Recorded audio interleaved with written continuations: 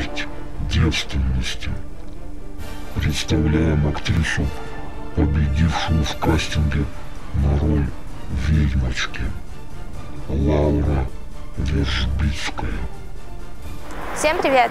Я приехала в город Омск на летние каникулы бабушки и дедушки и решила принять участие в проекте «Смерть девственности» и надеюсь получить от этого огромное удовольствие.